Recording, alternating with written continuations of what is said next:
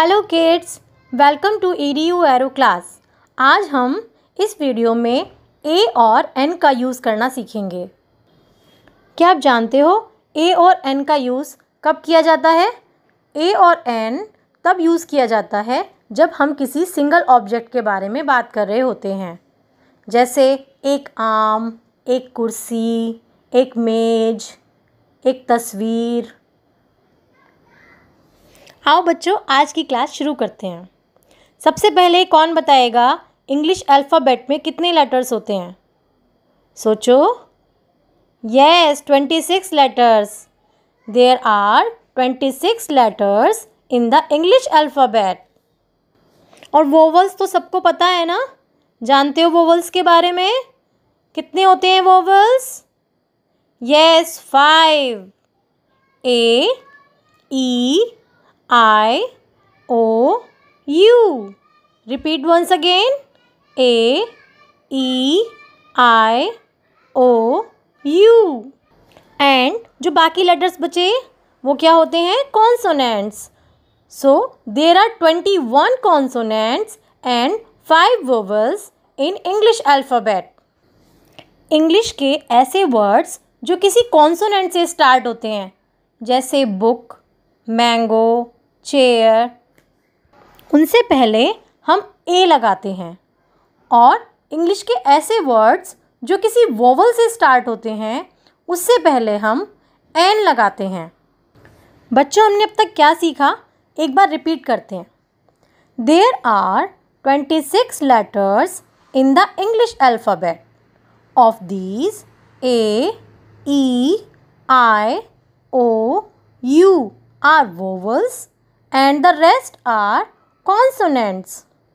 We use A before words that begin with a consonant and we use N before words that begin with a vowel.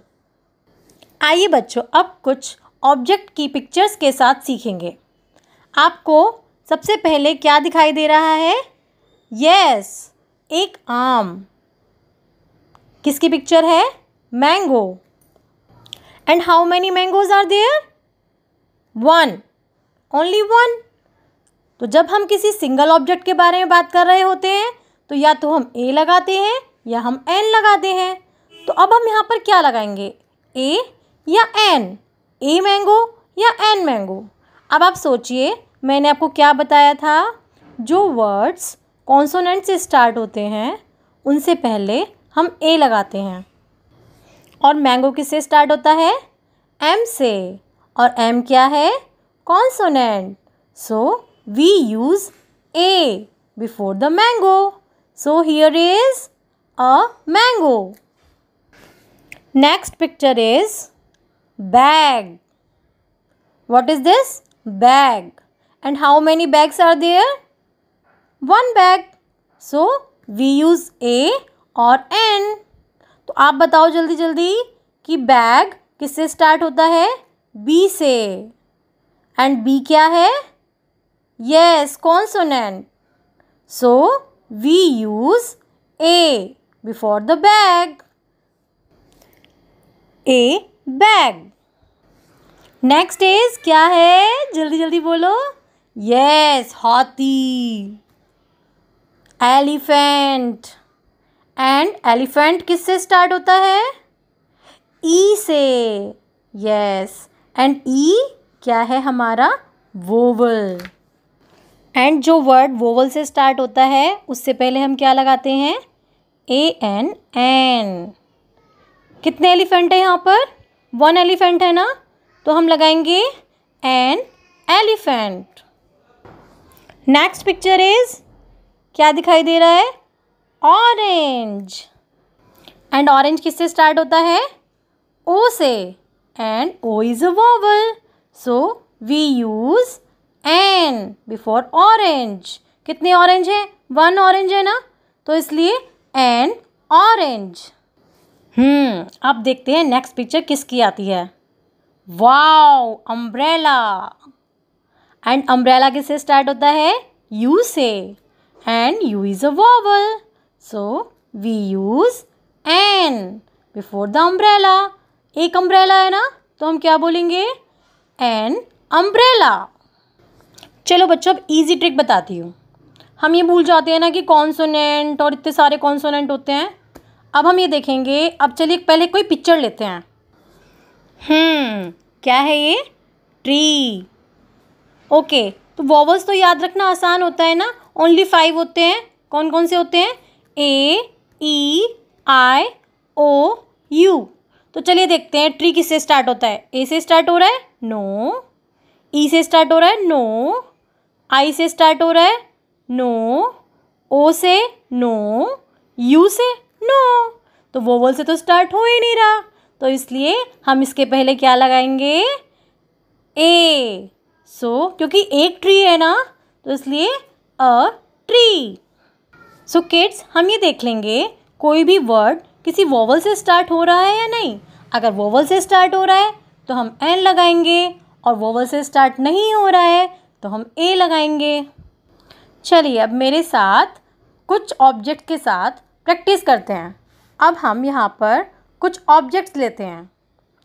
देखिए first is cat so what we use a cat next is jug vowel से start हो रहा है? No so what we use a jug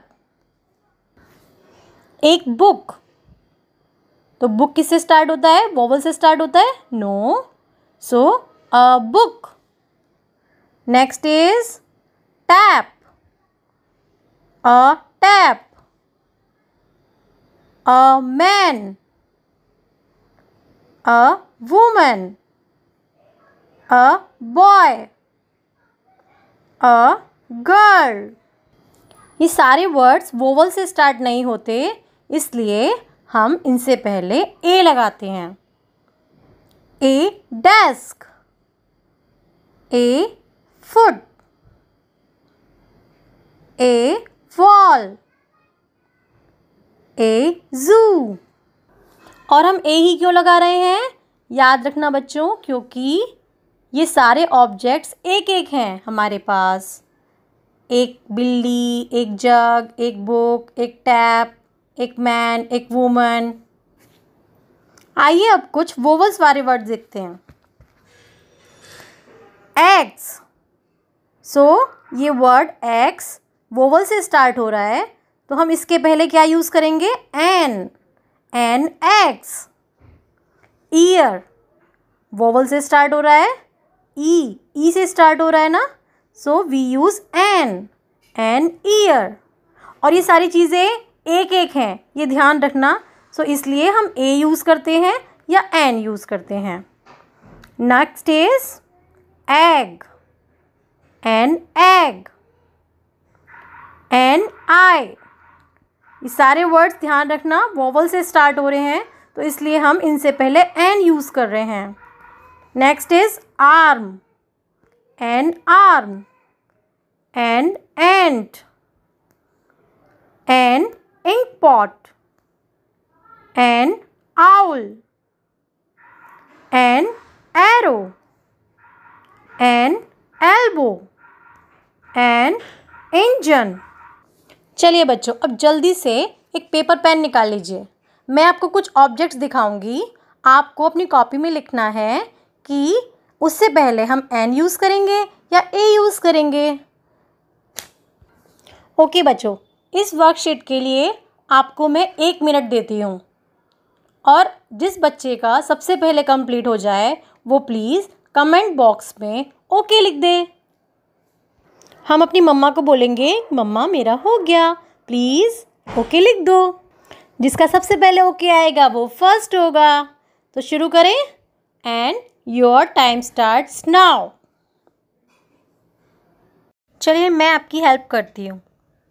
first is apple apple किसे start हो रहा है? Vowel से। नेक्स्ट इज़ काइट काइट किससे स्टार्ट हो रहा है? कॉन्सोनेंट से। नेक्स्ट इज़ आउल आउल किससे स्टार्ट हो रहा है? वोवल से। ऐसे ही बॉल बी से। Next umbrella monkey egg goat do fast kids yes